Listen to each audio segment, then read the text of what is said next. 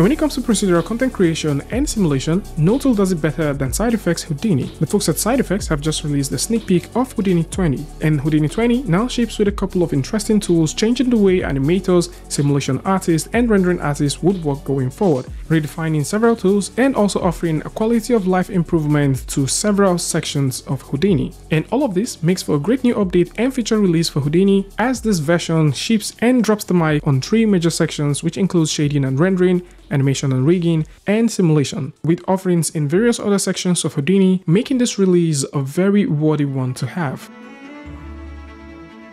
And for rendering, there's a couple of cool features that are coming over to Houdini 20, as this sneak peek features a lot for Karma, which is Houdini's physically based path tracer, which is deeply integrated with USD, and Karma seems to be slated to replace Mantra, which is Houdini's previous rendering engine. Karma, which already has a typical CPU and XPU rendering feature, now ships with more features and support that would allow artists take advantage of CPU and GPU rendering of fog boxes, which in turn would give artists a more convenient way to work around scenes with volumes without sacrificing performance. There's also support for nested dielectrics, absorption, dispersion, and cryptomatte, giving artists all of that flexibility when when they would like to render any of these properties that have just been mentioned by simply relying on Karma XPU. And for CPU rendering in Karma, there's now support for the fur shader with Medulla. The Thin Walled transmission for Material X standard surface is also coming to Houdini 20, and this will produce a more realistic light bounce and transparency on surfaces it's been applied on. The Karma Physical Sky and S coordinates on curves is also coming over to Houdini 20, and there's a new section that deals with render statistics, and this in itself itself would be very useful as artists would be able to tell what engines have been used, the samples, resolution, devices,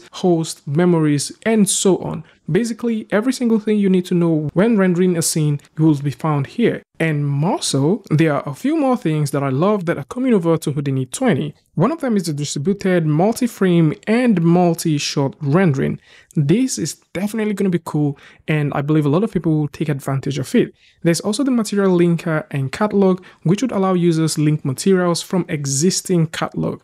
Alongside that, the Material X from AMD, which we've talked about severally, which is the AMD Material X library, is also coming to Houdini. So we've mentioned this on the channel before. It's quite interesting to see that this is now integrated into Houdini as the material library is easily accessible for all. Right now, you will be able to use that directly in Houdini.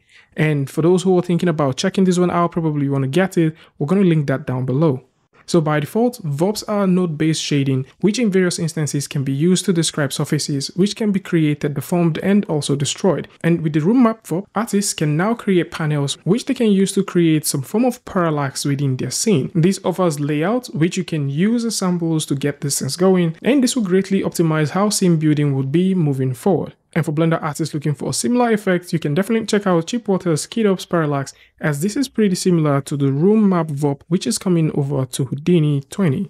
Now this is actually for viewport and not for rendering, but we're just going to put that on the viewport rendering, and that is Vulkan. Vulkan is coming to Houdini 20, so just in case you've been wondering when will Vulkan make its entrance to Houdini, right now with Houdini 20 you will be able to take advantage of Vulkan within your viewport. Video reference in viewport is coming, and you can now use that to match your animation as you animate. Animation, which has had a good set of love with the previous versions of Houdini, is having even way more love. There's one cool feature that's coming over to Houdini 20, which I so like, the animating with ragdolls. So instead of keyframing your characters or keyframing several things within your scene, you can now simply add ragdolls and animate those things and get that full realistic motions without animating them. More so, if you're into projectile motions, you can art direct your projectiles how you want and get this to stick to the object as you wish. With the sticky collision, at any point in time, you're shooting anything, say for example an arrow, that will stick to the model and you don't need to animate that over time. There's a new selection set in terms of the new animation environment. Continuing what the folks at Houdini did with the introduction of character rigging and retargeting framework with effects in Houdini 18.5, the new selection set just simply makes animating with Houdini a breeze. And like we mentioned before, at any point in time you're thinking about referencing your motions, you can now bring in a video reference in your viewport and get this going. There's also the RBD cone twist constraint. So just in case you're thinking about rigging a vehicle, yes, you can. So you can literally use this to rig your car and at the same time, you can plug this with an existing equipment and control this directly within your viewport in Houdini.